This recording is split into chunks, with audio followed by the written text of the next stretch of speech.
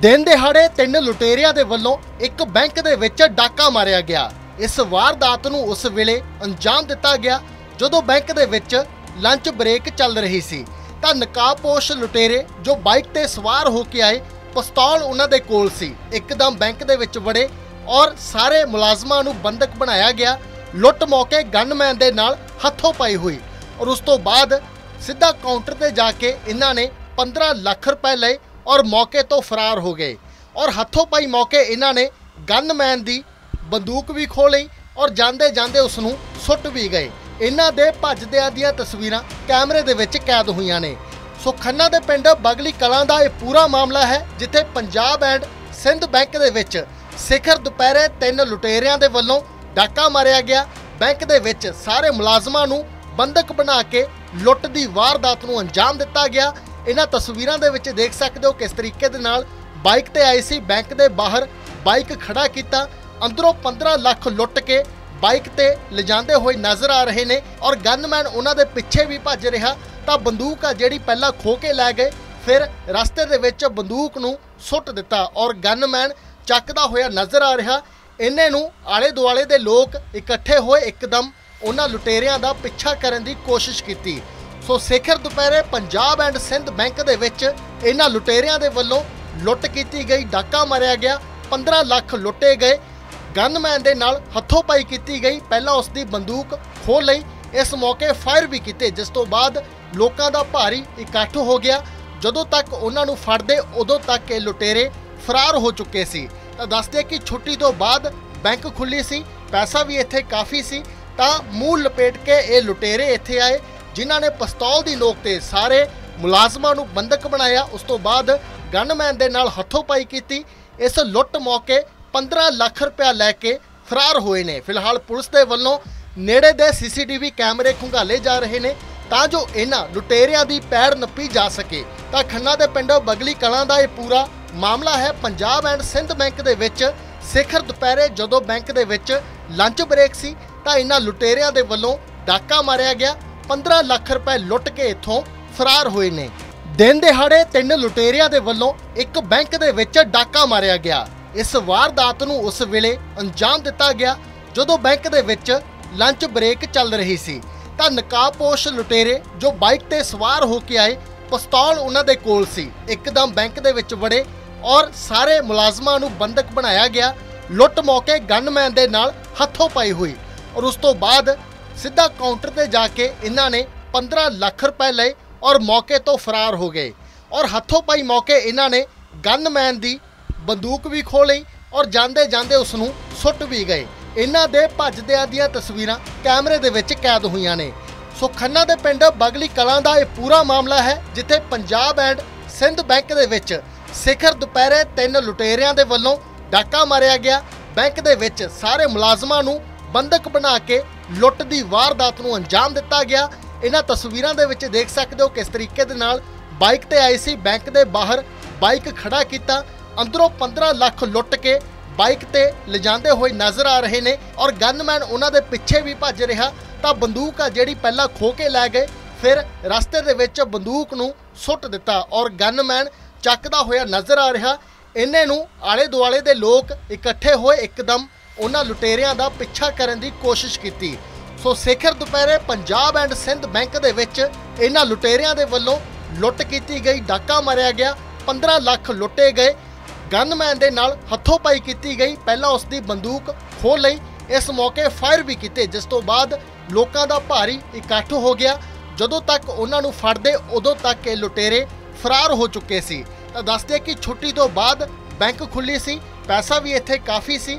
ਤਾਂ ਮੂੰਹ ਲਪੇਟ ਕੇ ਇਹ ਲੁਟੇਰੇ ਇੱਥੇ ਆਏ, ਜਿਨ੍ਹਾਂ ਨੇ ਪਿਸਤੌਲ ਦੀ ਨੋਕ ਤੇ ਸਾਰੇ ਮੁਲਾਜ਼ਮਾਂ ਨੂੰ ਬੰਦਕ ਬਣਾਇਆ। ਉਸ ਤੋਂ ਬਾਅਦ ਗਨਮੈਨ ਦੇ ਨਾਲ ਹੱਥੋਂ ਪਾਈ ਕੀਤੀ।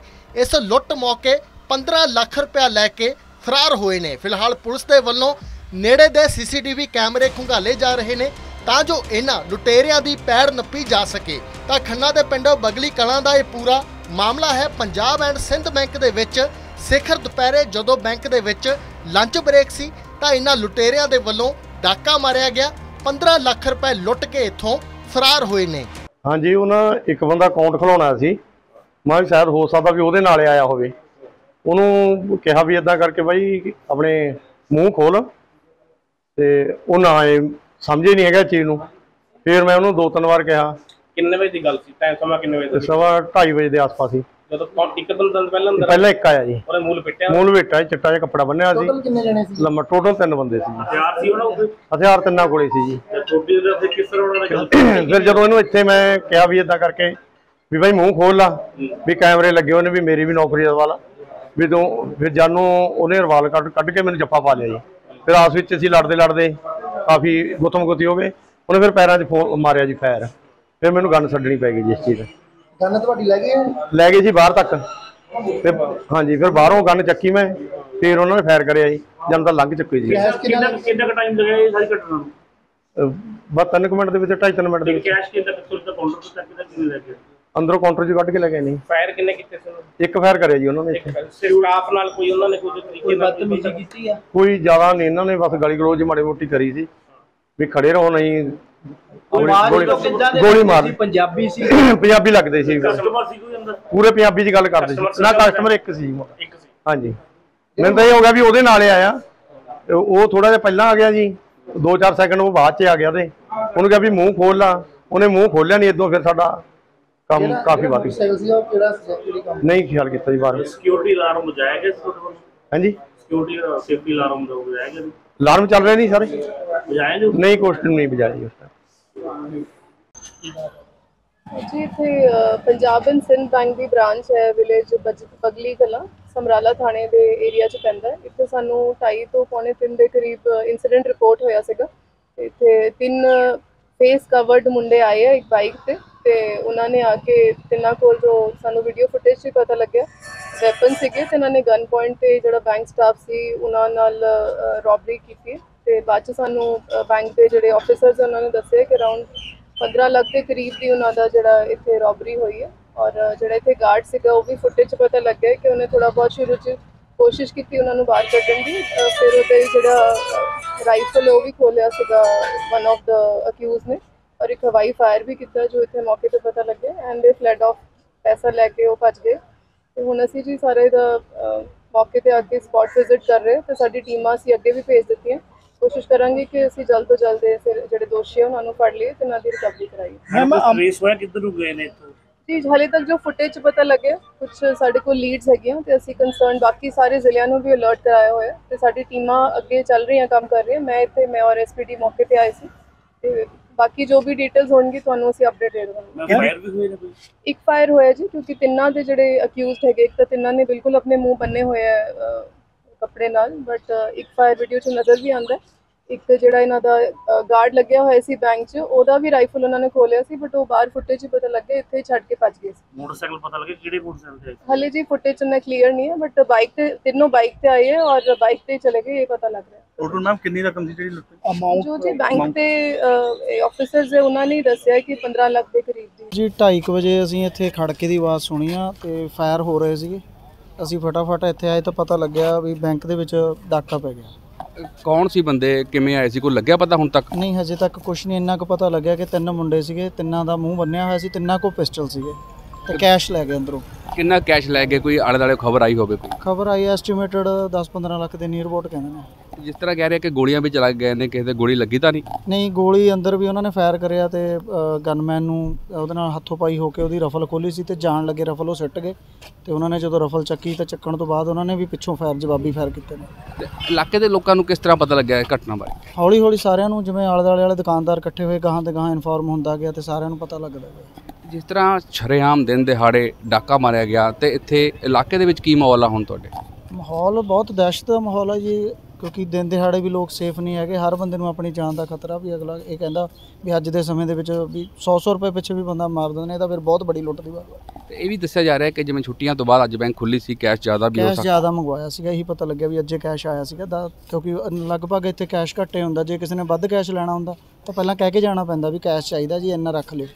ਤੇ ਸੁਰੱਖਿਆ ਨੂੰ ਲੈ ਕੇ ਕੀ ਸਵਾਲ ਨੇ ਕਿ ਪਿੰਡ ਵਾਸੀ ਜਿਹੜੇ ਆ ਉਹ ਸੁਰੱਖਿਆ ਨੂੰ ਲੈ ਕੇ ਵੀ ਸਵਾਲ ਕਰ ਰਹੇ ਨੇ ਕਿ ਆਮ ਘਟਨਾਵਾਂ ਹੋ ਰਹੀਆਂ ਨੇ ਕਿਹੋ ਜਿਹੇ ਪ੍ਰਬੰਧ ਹੋਣੇ ਚਾਹੀਦੇ ਨੇ?